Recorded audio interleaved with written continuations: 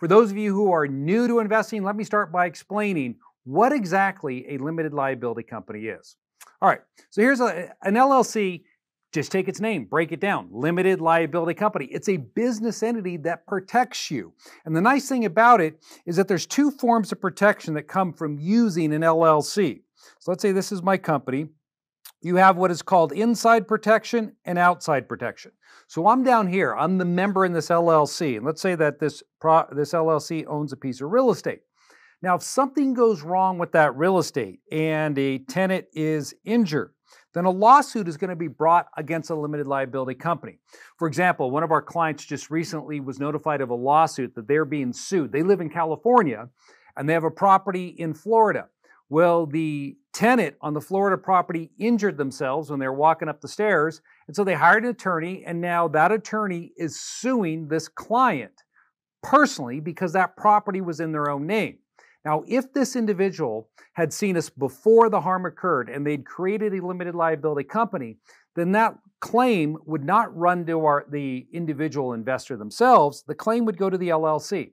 So the creditor would be forced to sue the LLC. And what that's going to do is it's going to contain that liability inside of that, that LLC. So if a judgment was entered against it for say $300,000 and the assets of the LLC are only 100,000, well, the most a creditor is going to get is the 100K in equity in the property. The other 200,000, they'll never collect on it.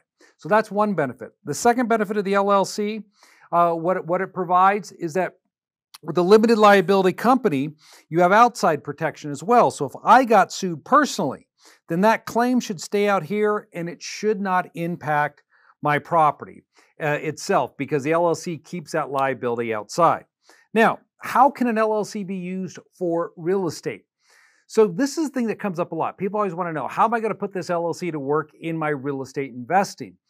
All real estate investors at some point in time have been confronted with whether or not they should use an LLC. And it really comes down to where you're at with your investing. Do you currently have rental property or are you considering purchasing some uh, rental real estate. So if you currently have uh, rental real estate, then what I would tell you is you should set up a limited liability company and you should place your property inside of that LLC. You're going to deed it into the LLC for that asset protection that we've been talking about. Now, if you're just getting started, you don't have any rental property yet. This is a situation then where you have to analyze all right, how are you going to acquire that property? Are you going to pay cash or are you going to get a loan for it? If you're going to pay cash for your property, then it would make most sense then to create an LLC to take title to that property. But on the other hand, if you're going to use financing, let's say you're going to go out and work with a, a qualified mortgage lender like Wells Fargo or a broker that you know, well, then it doesn't necessarily matter. You don't need to set up that LLC right away for that property because you're not going to be able to close in the name of the LLC. So, what I would recommend if you don't yet have real estate, and you're going to be financing with a traditional lender, then get the property. And once you've secured the property, or what we call once your money's gone hard and you know you're going to have that, uh, you're going to close on that property, then set up the limited liability company. And then you can move that property after closing. So initially you close in your own name, and then you've got your LLC set up over here. And then you'll transfer that property into the LLC after you've closed. That's how you should consider setting these things up.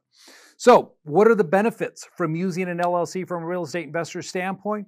Well, it really comes down to asset protection. That is the main benefit why we should be using LLCs for our investing. And the thing you need to, I, I think you should look at is when you're setting up an LLC, a, a common mistake that I see a lot of people make with LLCs and their real estate investing is they'll think, all right, I'm going to put three or four properties into this one LLC. And in fact, I have a client right now I've been working with. They have 17 properties inside of one LLC. Now, I highly discourage you from adopting a strategy like that because if something goes wrong with one of these properties, then all of your deals inside of that one LLC are going to be at risk. So remember my example where I said a $300,000 judgment was um, entered against the LLC, but if it only had 100K, that's all the creditor is going to be able to collect on. Well, in this case, if there's 300,000, they'll be able to go against every single property inside of that LLC. So It's better to adopt a strategy, in my opinion, where you set up one LLC per property. If you watch my other videos, any of my other videos, where I'm talking about LLCs, you know I pound on this topic that using one property per LLC is the best approach because it limits your overall risk exposure for your assets. Because, I mean, just think on this. How long do you think it took that individual to acquire 17 properties? It just didn't happen overnight. And now you're going to put all of those properties at risk for one ridiculous lawsuit? I don't think that makes financial sense to do that. And using your LLCs, what you're going to ensure if something goes wrong, the most I put at risk is just that one property. Now, are there any drawbacks to using an LLC as a real estate investor? Well, the drawbacks that I see when it comes to using an LLC are really client generated or people who set them up. If they don't know how to set them up the right way, they can create problems for themselves in, in the way they create them. For example, I see a lot of times where people will set up LLCs. Let's say it's a husband and a wife here, investor, and both of them want to own every LLC 50 50. Well, the issue that you could come up there is that I'll run into these individuals will have 10 LLCs and then they're filing 10 tax returns for because each of those LLCs have to file a return. So that's a drawback. If you're not setting them up the right way so they don't have to file tax returns, it can get quite expensive to set up the LLCs. Or I'll see clients that'll have 12 limited liability companies and they have 12 separate bank accounts created because they don't understand that you can use a management entity and you can reduce the, the complexity of running your structure. So the problems that come from using LLCs are typically driven by the advisor who doesn't understand them or the individual setting them up um, because they don't realize there's different ways of creating LLCs for their real estate. So, how do you set up an LLC for your real estate investing business? I'll just tell you this. You can go to LegalZoom or, or Zoom, like uh, I like to uh, refer to it, and and and you can set it up on your own and kind of hope that you get it right. You can go out and you can hire a professional, but ask yourself do you know what you're doing when it comes to setting up that LLC? Does that professional know what they're doing? A lot of times people assume just because the person that they're talking to is an attorney or they're a CPA, that they understand your business. The thing that I've discovered in my own real estate investing over the past 20 years, you know, to grow a portfolio to over 300 properties, you learn a few things along the way and that it's not a one size fits all approach. You have to understand the strategies that you're considering starting with and then create the structure around that. So if, so if you're wholesaling, you're flipping, BRRRR strategy, short-term rental, different strategies require different types of structures. So you could set up your LLC on your own, but would it be the right structure for your business?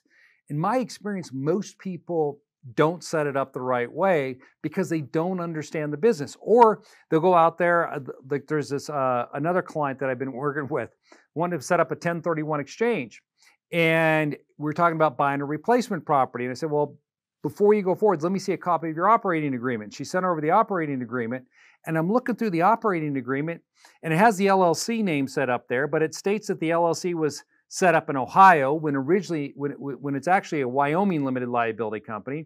It states that there's a different manager involved in the LLC. Somebody I don't even know who that is, and she didn't know who it was.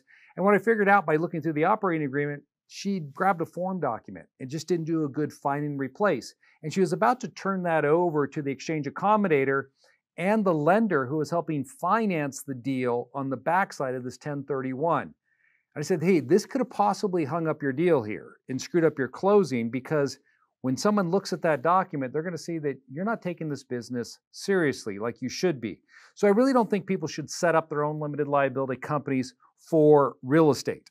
You want to make sure that the LLC you're creating chooses the proper tax election so you're not going to be overpaying or losing out on, on some of the benefits of owning investment real estate.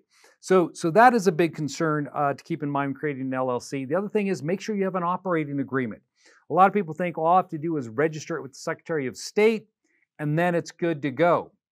Well, you actually need to draft an operating agreement, and that operating agreement should reflect the type of real estate activity that you're running through that business. And the other thing that I would tell you to keep in mind is that if you want to create a great asset protection structure, it starts with anonymity. I've got a lot of videos on my channel discussing anonymity with limited liability companies. And here's the thing about it when your information gets put out there, if you're going to file an LLC on your own and you're going to list your information on the filing, which you have to do if you do the filing on your own, or in many states, if you're the member or manager, your name and your address will be listed there. You just lost out on one of the greatest benefits of having LLCs is that you can set them up so that your tenants and creditors, they don't even know that you have them.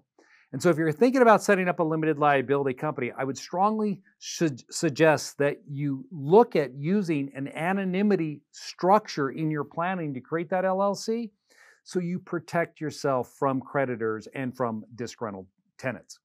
Hey, if you like this and you want to learn more, I want to invite you to our tax and asset protection workshop. I know you're going to have questions. And at this event, you're going to get those questions answered live by attorneys and by CPAs and tax strategists that will be on the event with me answering those questions that come up uh, during the event. So, if you want to learn more about there, make sure you click on the link and you get to that event. Otherwise, I wish you the very best with your investment.